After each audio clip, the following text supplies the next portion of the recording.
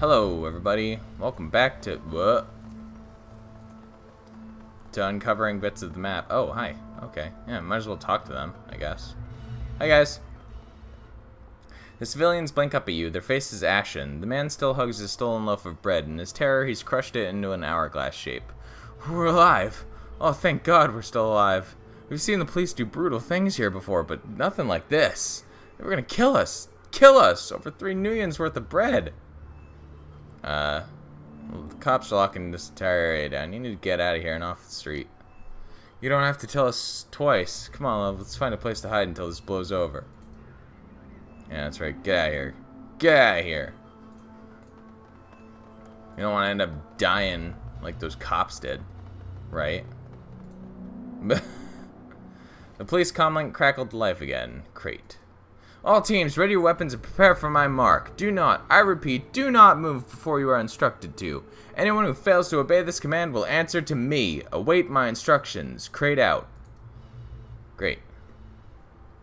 Great, Crate. Uh, what's going on here, guys? Hi.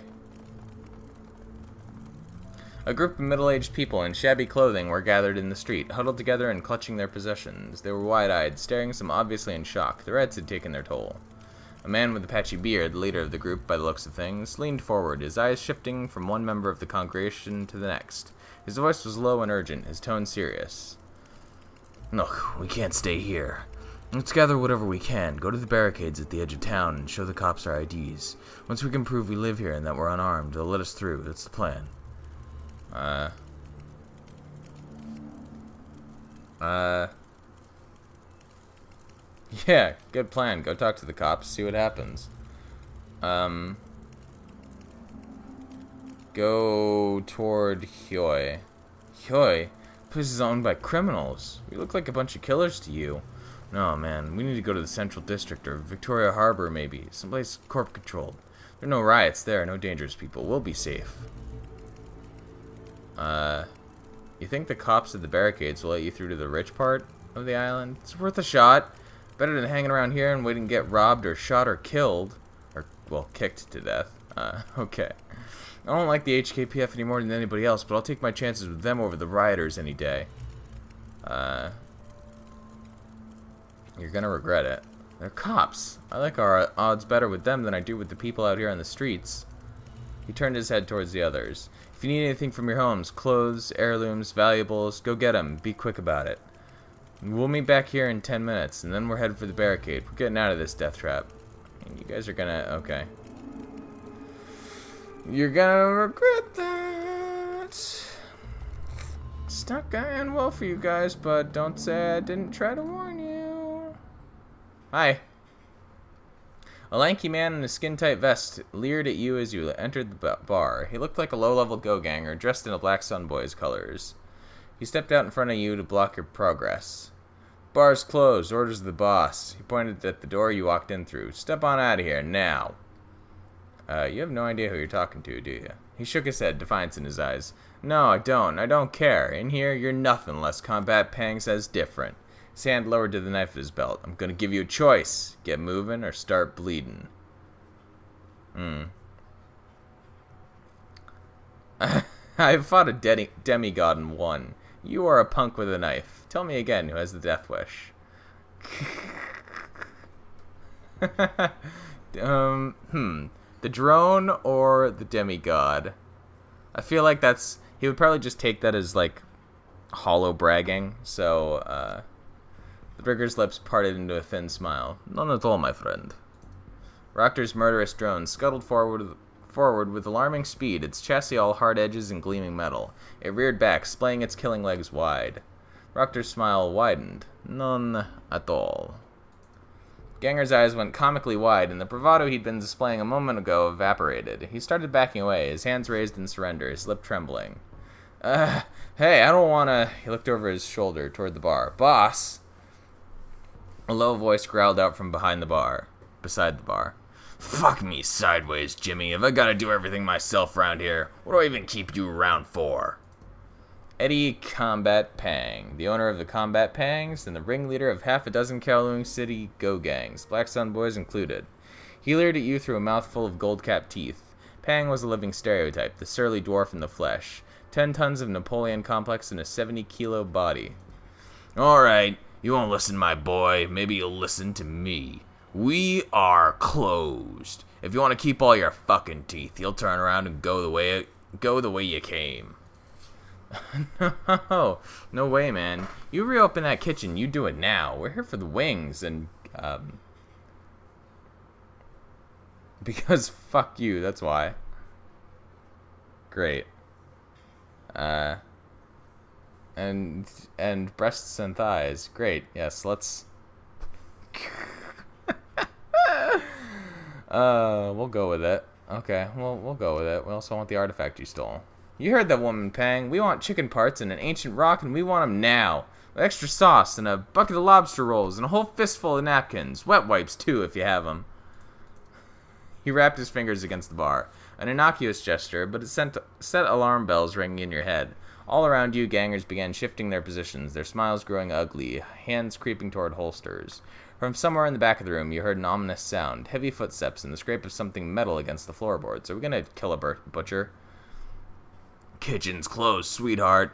Unless you want to man the oven yourself, chicken's off the table. But if you come back for happy hour sometime, I'd be happy to hook you up. He shifts, he shifts his gaze to you. Now, if you want the rock, I've got to assume you're on Cheng's payroll. That true? Uh... You... Yeah, that's right. Afraid you're mistaken on that front. Everything in this bar is mine, Buttercup. Mine. You're standing in my home right now. See all these people around you? They're my friends. And they don't take kindly to strangers who come in here trying to throw their weight around. Uh... If you don't bring the rock back to Cheng, you're gonna have a war on your hands. Think you could take on the Yellow Lotus? The old lady wanted a war, she'd have sent her soldiers, not a hired hand. He smiled at you, his gold-capped teeth glinting in the light. Can't help but notice she didn't do that. Are you sure? Are you are you positive about that? More shifting from the assembled gangers in the bar. Some of them looked angry, ready to start shooting and cutting, but others were clearly concerned. Kindly Cheng's name carried a lot of weight in Kowloon City, and everybody knew the Yellow Lotus. The shift wasn't difficult for you to see. Pang could see it too. Tell you what, I'm in a generous mood tonight, and I don't really need the rock for anything. Sounds like Cheng's got you in a bind, and you're gonna be in trouble with her if you don't bring it back tonight, so I'll sell it to you. Give me, say, 500 new yen, and I'll have my boys box it up. Uh...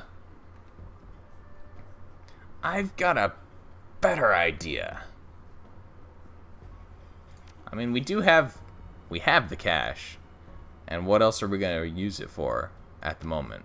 But we have the charisma as well. Like, this is how we spec our character. So, you give me the rock, and I'll try extra hard to convince Kindly not to burn your bar to the ground. I can't let you take it for free. I'd set a bad example for the boys. It's mine. You gotta give me something for it. Um, my help in keeping the Yellow Lotus from murdering your entire family. That goes for everyone in the room, by the way. Let's see. Uh, the corners of his mouth drew down into an ugly scowl. He took another moment to size you up, his eyes darting from you to each member of your team. Then he glanced back at the gangers. They were jumpy, nervous. His slab-like hands curled into fists. It's in a cubbyhole behind the bar. Go on, take the thing, get out. More trouble than it was worth, anyway. Great. Great. That was... There we go. Seems like an awful waste, all this trouble over a stupid hunk of rock. It's Cheng's rock. That's all we have to know. Uh... Better get moving. Something metallic hit the ground at your feet, cutting you short. A canister of some kind. You didn't hear where it came from. Behind us. Up. By the time you could process what was happening, it was too late. The metal tube erupted, spraying out a hissing steam stream of concentrated vapor. In the distance, you could see a group of figures wearing gas masks. Not riot control cops and not SDU, but official looking wearing red uniforms. They were already moving in, beelining in your direction. Um, well, we already know how this is going to end up. So, uh, hold your breath. You sealed your lips shut, but the vapor crawled up your nostrils anyway. It was sharp with the chemical tang that you could taste in the back of your throat.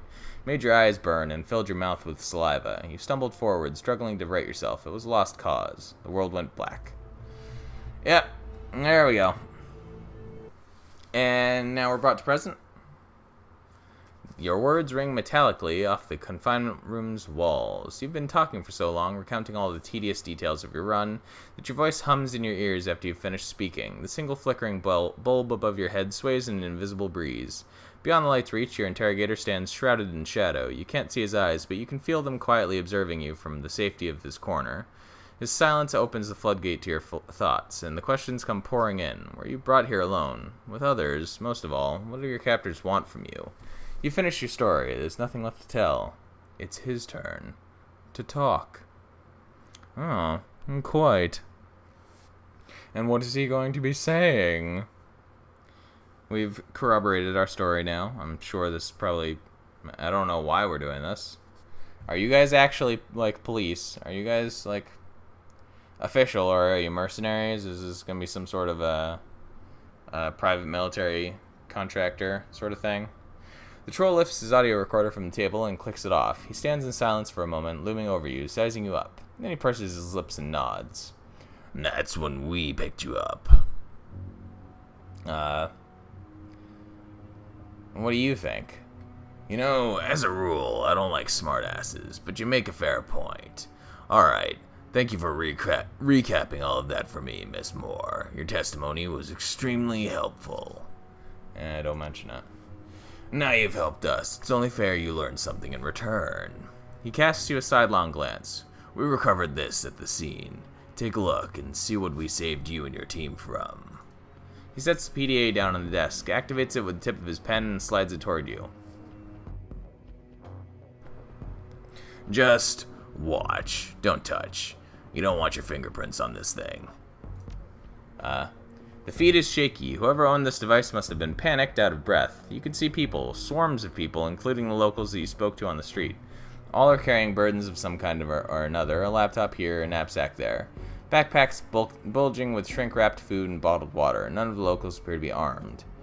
Camera wheels around and you can see a firing line of police. The man with the patchy beard is pleading with them, begging to be let through. He says that he isn't a rioter, that none of the people here are. The constable, faceless behind his mask, says nothing. The camera focuses in on figure behind police lines. Her features are instantly familiar. Chief Inspector Crate. She looks straight into the camera, then she reaches her hand to an ear and speaks into her comlink. Her voice is loud and clear enough that you can hear it over the PDA's tinny speakers. All teams, you know your orders. Open fire. Put 'em down.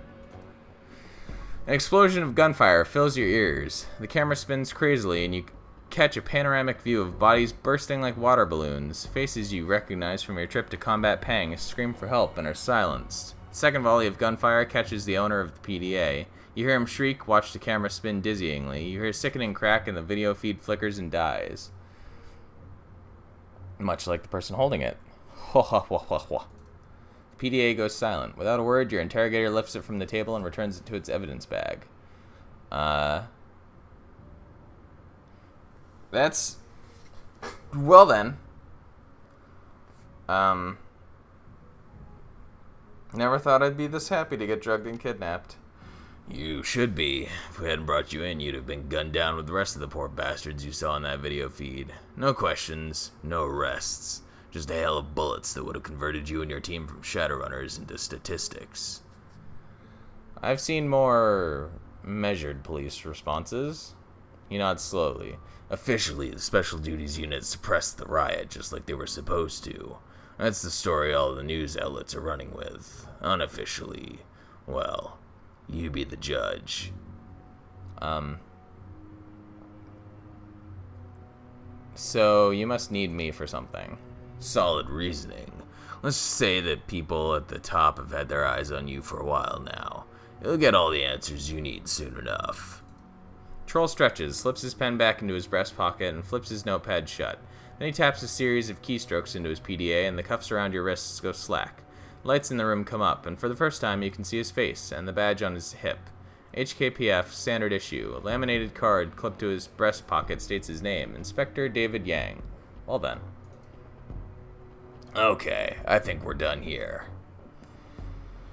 Uh, what are you charging me with? Nothing. You aren't under arrest. You and your team are here as guests of the HKPF, and you're going to remain that way until we tell you differently. Uh, guests? Not my job. You'll have to speak with Q and Lamb for that. Don't worry, they'll be sending for you soon enough. Uh, who are they? You'll find out. Great. That's what we want. Let's get up. Also, why is the, the okay? So there's a door here. Bam. Door looks solid. You can't see any visible doorknob or latching mechanism from where you're standing. Most likely it's barred from the other side. Um, wait patiently. You step away from the door and wait. Minutes pass. Nothing happens. Examine the door more closely. The door is made of heavy steel. It appears to be mounted to a set of tracks at the top and bottom of the door frame, designed to slide rather than to swing open. When closed, it sits flush with the wall. Your best guess is that the room you're in was built in one piece, and that the door was later cut from it. Uh, well, wait. You calm yourself and settle back to wait for the door open. An interminable amount of time later, you hear the sound of muffled voices, followed by a dull thunk. The scrape of metal dragged over metal fills your ears. God, I hate that sound. Yeah, thanks. That one. Talk about timing, though. Uh, the door pops open, but only a crack. A sliver of daylight streams through from the other side. Uh, hi. What's going on? Oh. Where'd you come from? Where did you two come from? What? The sun stabs your eyes as you step from the interrogation room into the noonday sun. Blinking against the glare, the world gradually swims into focus. A familiar face greets you. Huh, Kira, you're out. Thank God. They had you locked in there, away in there since we got here. Uh, true story. We only knew when you were where you were because we could hear you screaming last night. She steps towards you, an expression of concern on her face. You okay, Seattle? They didn't hurt you too bad, did they? Uh, had a mage. Magical interrogation. Bastards pulling out the big guns. He shakes his head agitatedly. In agitation, I would say would be like more. Okay. Thing is, they should have been interrogating us at the same time, comparing our accounts and memories of the evening. Doesn't even make sense. Doesn't make sense for them to question you for hours while we're all sitting out here. None of this makes sense. Our captors wear the uniforms of police constables, but this isn't central booking. It sounds and smells like an impound lot, and gassing you like they did is anything but standard procedure. yeah, we're. You weren't like the gang's all here. Sadly, yes. We all share the same predicament, regardless of our participation in Kindly Cheng's errand. It is a long story. You know what else doesn't make sense? Cops coming after us at all. I mean, the APB on us was lifted, right? That's what Auntie Cheng said after we got out of the walled city. It was lifted. The APB that Josephine Sang had crate put out on us came with a killer capture order attached to it, and they weren't paying much attention to the capture part. If the APB hadn't been lifted, we wouldn't be having this conversation. We'd all be dead, just like Nightjar and Carter. Duncan's back stiffens, but he holds his tongue. We should be dead now, or in a secure facility somewhere. Instead, we're just sitting in an impound lot. Not just us either, she gestures into the distance. At the edge of the impound yard, tethered to the docks, the rusting hulk of the Defiance rises above its surroundings. Oh, are we actually gonna, like... Okay. Have... How'd you bring the boat here? Oh. Heavy chains snake up from secure moorings on the docks, docks to heavy maglocks that clamp down on the vessel's hull. She isn't going anywhere. He didn't just arrest us, they arrested our damn boat. And those of us on board were taken along for the ride. No warning was given. They simply hooked us to a tug, cut away our moorings, and hauled us away from the harbor. Can you shed any more light on this at all, Seattle? I mean, did whoever you talked to in there let anything else slip or anything? Uh, Lamb or Q? I know lots of people named Lamb and Q. They aren't uncommon. Considering where we are, I'd guess they're high-ranking cops. Beyond that, though, your guess is as good as mine. Gaichu suddenly leans toward the Cell door, his head cocked. An eyebrow raises. He lifts a gnarled hand, gesturing for the team to halt. Do you hear that? Footsteps. Someone is coming. He lowers himself into a ready stance. Prepare yourselves. We are about to have company. I mean... Hello. A uniformed constable wearing a sergeant's insignia passes through a set of double gates and into your holding pen. She walks with an air of quiet authority, her face an expressionless mask. A pair of wary eyes fix themselves on you. Kira, step forward, please. Um, okay. She nods, raises her PDA, and begins to type in a series of commands. Thank you for your cooperation. Senior Inspectors Lamb and Q want a word with you. Uh, I think I'd like a word with them too. She nods, raises her PDA, and begins to type in a series of commands. Oh, great. Again. That's the right attitude. Very good. In a moment, I'm going to let you out of this cage. When I do that, I want you to make your way to the command trailer near the edge of the docks. Don't try anything stupid. You're being watched. Uh, I know the drill. Better get walking then. She punches a final button on her PDA, and the massive gates to the pen that holds you begin to rumble open. Go on, move. You don't want to leave the inspe senior inspectors waiting. Great. Sure, let's go. Where are we going? Oh, just right over here? Okay. Yeah. Let's go. Hi. What's up, guys? The cramped confines of the command trailer are packed to the gills with security-rated technology. Terminals and surveillance packages, all stamped with the Mitsuhama logo, fill every inch of available space. Just ahead of you, a pair of senior inspectors. One male, one female. They look very similar. Uh, I mean, they're outfit-wise, I should say. Although they do have both, both have black hair and very pale skin. Um, stand over command console. The man offers you a friendly smile. Ah, Ms. Moore, you're here. Very good. I'm Senior Inspector Andy Lamb, one of the leaders of this task force. Thank you for coming so promptly. He extends a hand for you to shake. Uh... You say that as if I had a choice. The woman, an elf, replies through a mouth that seems drawn into a permanent scowl. Seems like you've got a firm grasp on the situation. It's good. It'll save us some time. I got a real bastard of migraine, so let's try to make this quick. Yes, of course. He offers her a slight bow. My apologies, my apologies, Senior Inspector Q. As for you, Kira, you must be wondering what you and your team are doing here. Uh, I get the feeling you're going to tell me. Q cuts in, rubbing the bridge of her nose between her thumb and forefinger. Long story short, we got a problem, and you're in a unique position to help us solve it. This is a job offer, Kira. We want to hire you. Um, can't say I think much of your recruitment tactics. I'm sure you don't, but you can't deny their effectiveness. Go ahead and pull up the file, Lamb. He nods, and his fingers dance over his PDA's key keypad. He raises the device to show you what he's pulled up on the display.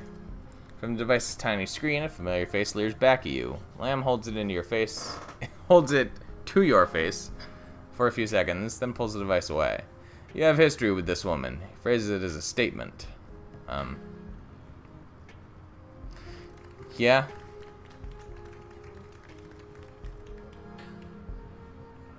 Yeah, we know her. Uh. Yeah. That's right. That ambush did kill some friend of yours, some friends of yours. Lone Star officer named Carter and a Shadowrunner who called himself Nightjar, if I'm not mistaken. There was another one there. Like, there was a third person who died that apparently everybody's just forgotten.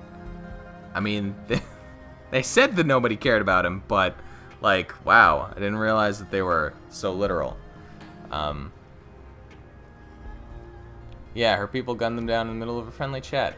Kraid's people are nothing if not efficient, and the Chief Inspector herself is a highly decorated officer, leader of the HKPF's elite Special Duties Unit.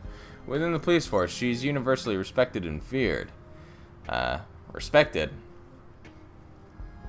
I feel like that should have big quote marks around it, but She's also the unofficial face of the spe Special Duties Unit in the Hong Kong media circuit. When they need a talking head for a news broadcast, she's the woman they go to. To her fellow inspectors, creates a hero and a role model. They go to bat for her without a second's hesitation. The woman has a lot of pull. Uh, hence, your need for an outsider. That's right. Key members of the Executive Council believe that Crate is at the center of a criminal conspiracy within the HKPF. She and her co-conspirators have been working as mercenaries under our noses, taking on illicit side work for profit and tarnishing the HKPF's good name in the process. This task force was assembled to investigate that suspicion. Um. Gee, what was the first clue? Her association with Josephine Sang, funny enough, including the APB that Sang and Crate put out on you. You may be aware that when that your name was cleared, by the way. The APB was lifted and your file scrubbed clean. Lamb and I were the ones who made that happen. Uh, I guess a thank you is in order? that won't be necessary. That APB should never have been called out in the first place. Rescinding it was the right thing to do. Now, We understand that the prospect of working with the police task force could feel foreign to you, and I fully expect you have questions you'd like to ask. He spreads his hands. If there's anything pressing you'd like to know, I'll do my best to answer. Um. Ah. Uh, why me? I mean, simple answer to that is that we're the protagonist, but uh, others other runners don't have a built-in reason to want Crate dead. You do. Beyond that, you're the perfect deniable asset for the job. If you get caught or killed, the SDU will assume you were there to get revenge for what they did to you. Uh, okay. You really are the perfect runner for this job. What we pulled from... Ugh. Pardon me. What we pulled from your mind in interrogation confirmed it. We know we can trust you for this job, and that's invaluable to people in our position. Uh, what is your role anyway? I handle the technical side of the investigation, decking and information monitoring, control, surveillance work, that sort of thing.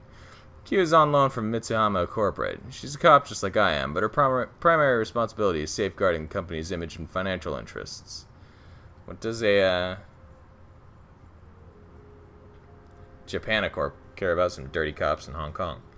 The Hong Kong police force is owned and operated by Mitsuhama The company is obviously concerned by what's happening here, so they dispatched me to help Lam lead this investigation.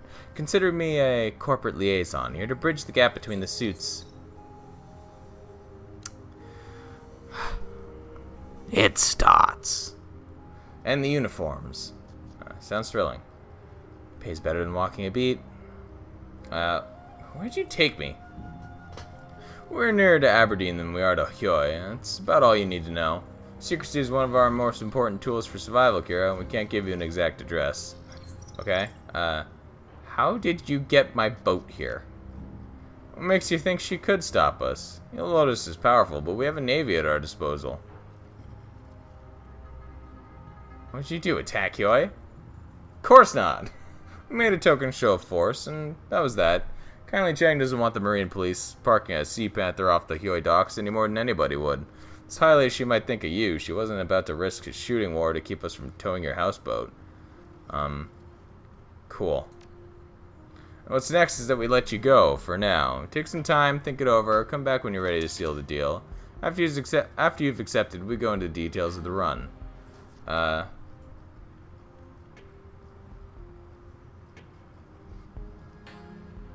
Uh...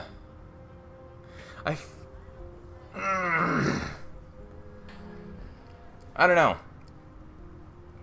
All right. Well, I don't. I don't think that most of my team would really object, but uh, running it by my team first. That's why we're letting you go. Talk to them. Tell them exactly what we told you. We're confident they'll want to work with us.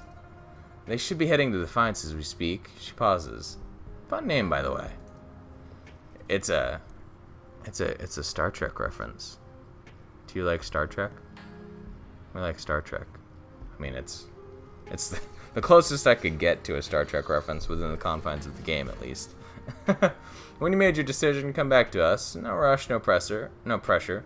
We're not trying to coerce you into doing this. We're all on the same team, after all. Uh, great. I'm sure. We're totally all on the same team.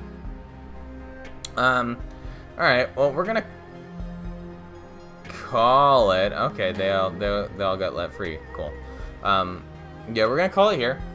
And then next time, we're to have some chats. Ooh, look at that water. That's that's some nice water effects right there. I like that. Um, so yeah, this should be cool. This should be fun. This should be awesome. Thank you all for watching, and I will see you next time. Bye.